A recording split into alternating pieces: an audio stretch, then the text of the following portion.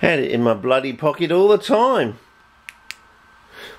Anyway, hang on. Make use of Rossi's. This is what I was trying to do before I was so rudely interrupted.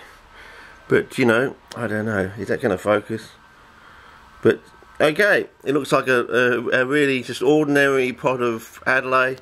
But when you see them in 3D, it's like chalk and cheese. You, you, you'll be instantly converted. The idea of the grid one we chose the um, the general one that was semi-close, I think it was. We wanted the people to be, be, able to look down inside the traps and see how deep they were, and ask the question, well, you know, why are these traps so deep?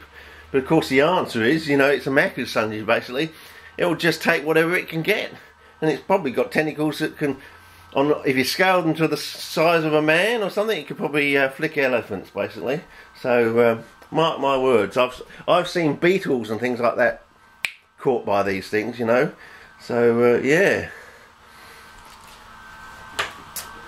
So there'll definitely be more be more coming from uh, the fastest sundew on the planet in the world. Yeah, before we go and blow ourselves up or something, have another bloody war. Okay, over and out.